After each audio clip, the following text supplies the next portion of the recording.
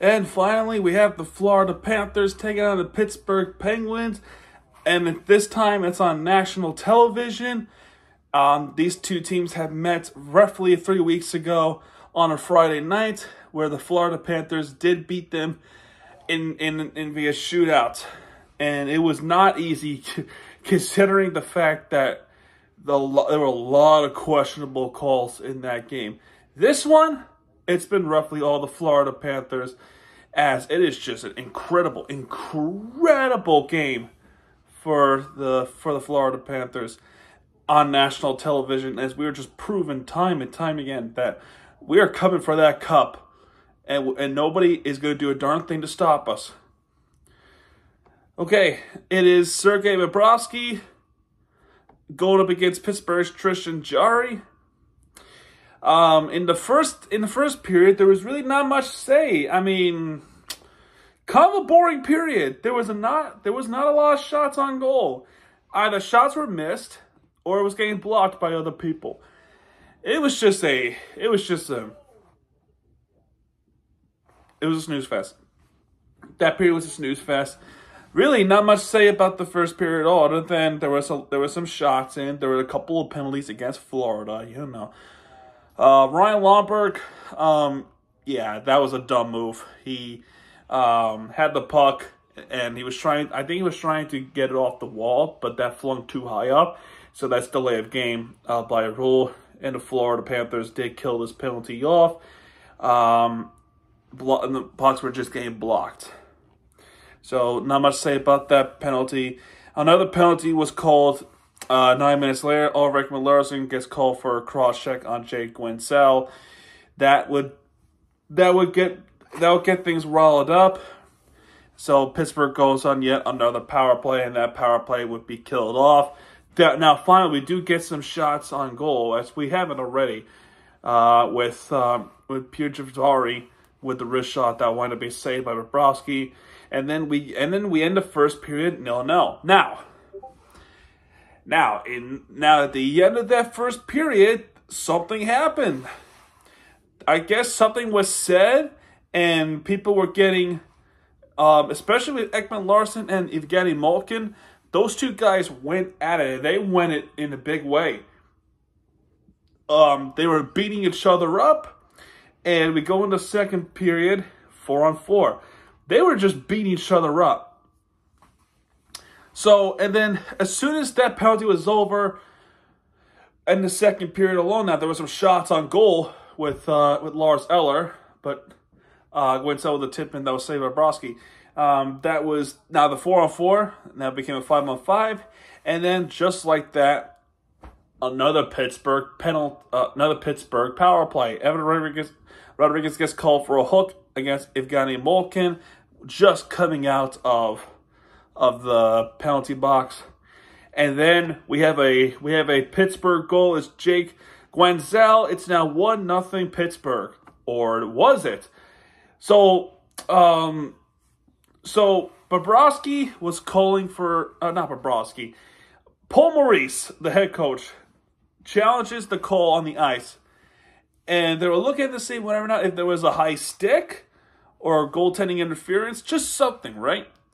They saw high stick, completely interfered with Bobrovsky, and they determined that it is high sticking, so there is no goal.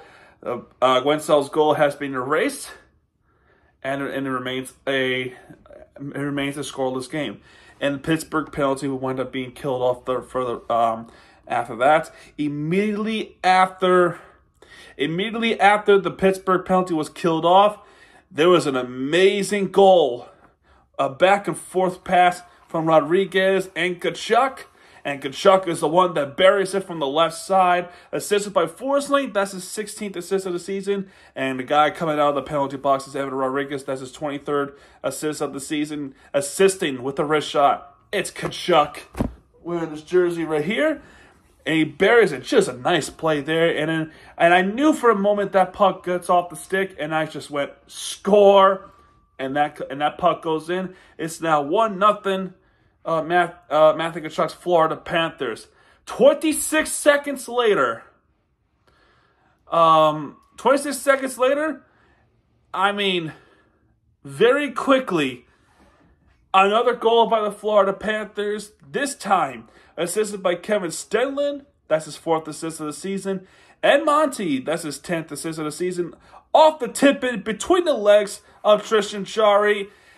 An unlikely, an unlikely source. It's Gadjovich, Jonah Gadjovich, with a tip in goal between the legs of Tristan Jarry. And, and very quickly, 26 seconds apart, it is a 2 nothing hockey game.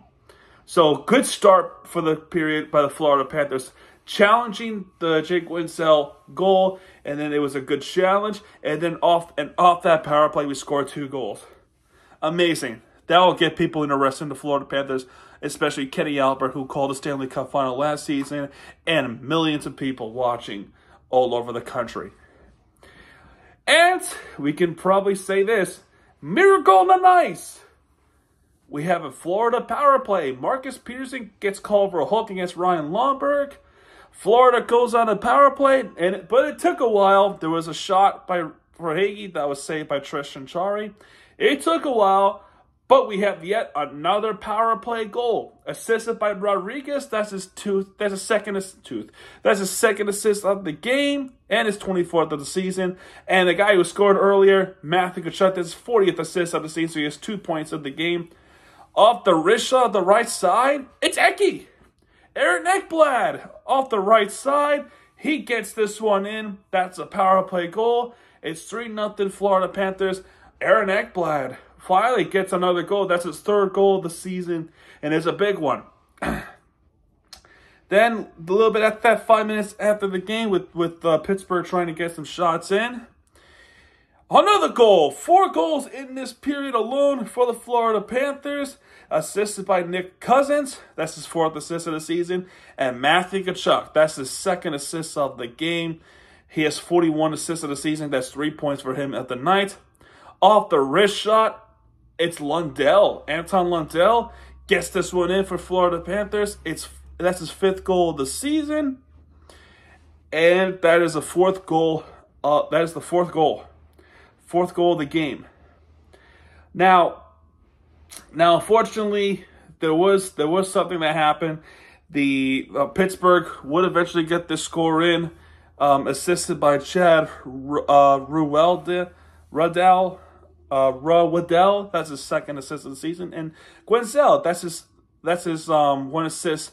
That's his 30th assist of the game. That's his one assist. I'm telling you. Off the deflection, it's Bryan Rust. That's his 14th goal this season off the deflection.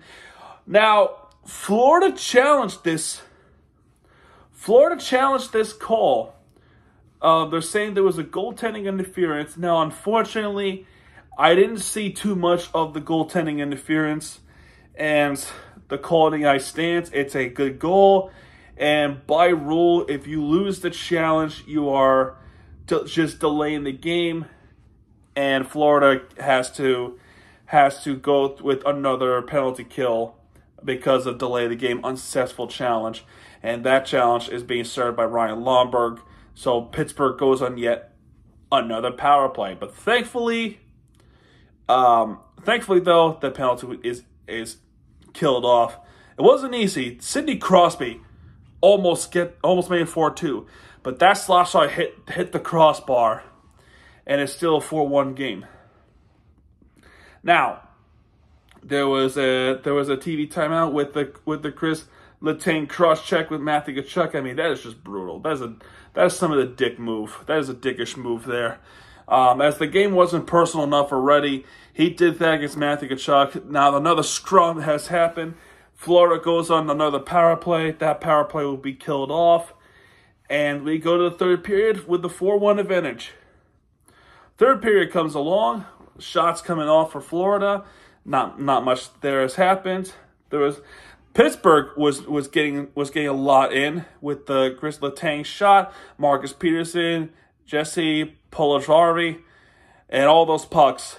Bobrovsky was right there to save it, and Bobrovsky just having himself a night, having himself a night. Absolutely amazing. All right, then after that, we have another goal. Assist by Luostarinen, just stealing the puck from Pittsburgh. Off the wrist shot, it's Lundell with the sixth goal of the season. This might this might be one of the most bizarre and the most funniest, okay, funniest, bizarre goal I've ever seen in my years of watching hockey. Basically, Lundell shoots the puck, gets blocked. The puck goes up, right? Here comes the puck, goes down, right? It ricochets off the Pittsburgh uh, Penguin player. Then it goes down on the pad or the the leg area of Tristan Jarry, whatever you want to say, the knee pad, the the shin pad, whatever you want to call it, right? It deflects off the back of the heel skate and it goes to the back end. Basically, what I'm trying to say is Lundell's shot gets blocked, goes up there, and it deflects off the back of the shin pad of Tristan Jarry and it slides to the back of the net. That is just that was that might that was really funny and it was very bizarre. I will say this. Bizarre but very funny. I loved it. That was a nice goal. Really funny goal. I'll take it.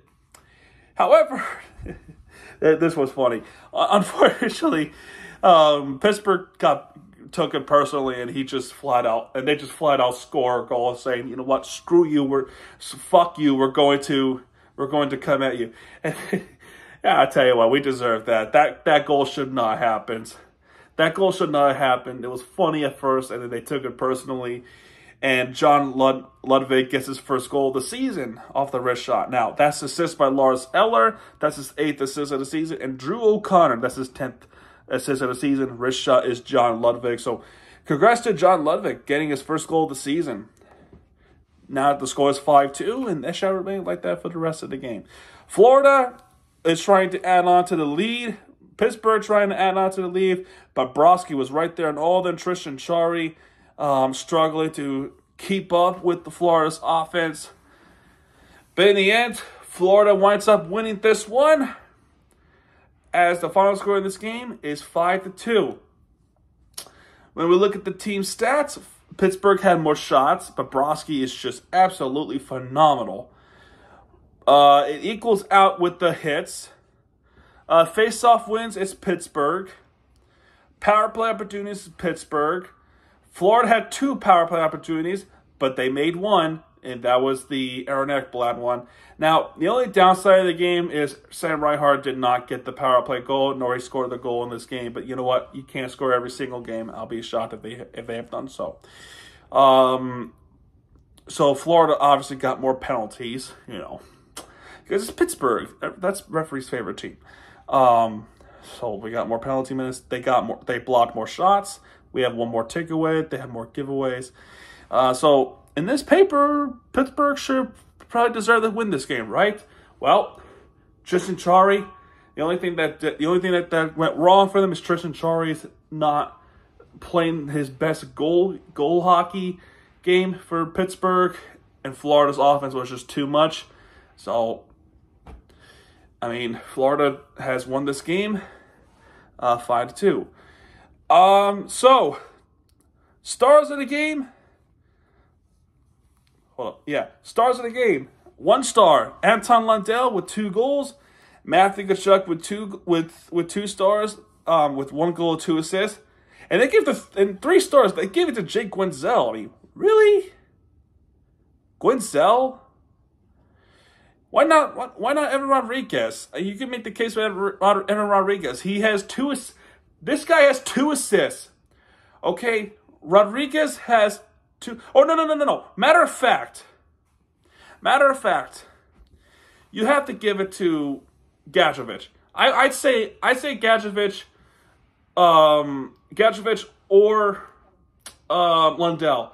Really, you really should give it to Lundell. But Guentzel, he had one assist. He had one assist of the game. Evan Rodrigues had has two assists. I'm not joking. You could read it off. You read, you can read this off if you like, but the but the facts are there. He has two assists. He assisted Matthew Tkachuk out of the penalty box, and then he comes back and assists Aaron Ekblad off the power play. That is what you could have at least given with the three stars, but you gave it the guy who only had one assist. NHL's favorite team. Tony flat out. Anyway, Florida Panthers is not can't rest too much yet because in a 24 hour span, they go up north from Pittsburgh, which is I want to say about a six hour drive even from Pittsburgh. They go to Buffalo, Western New York, to play against the Buffalo Sabres. That's a seven o'clock um, face off, and that goes back on Bally Sports. So that's good to do with this video, folks. Uh, for for tonight's Valentine's Day, Florida, uh, Miami Sports, South Florida Sports is two for one. Well, at least for me, at least two to one.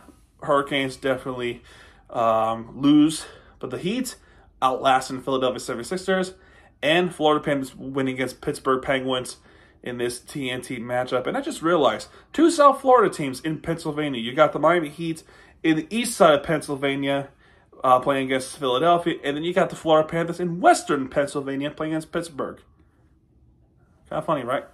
And then in the end, South Florida definitely sweeps uh, Pennsylvania sports.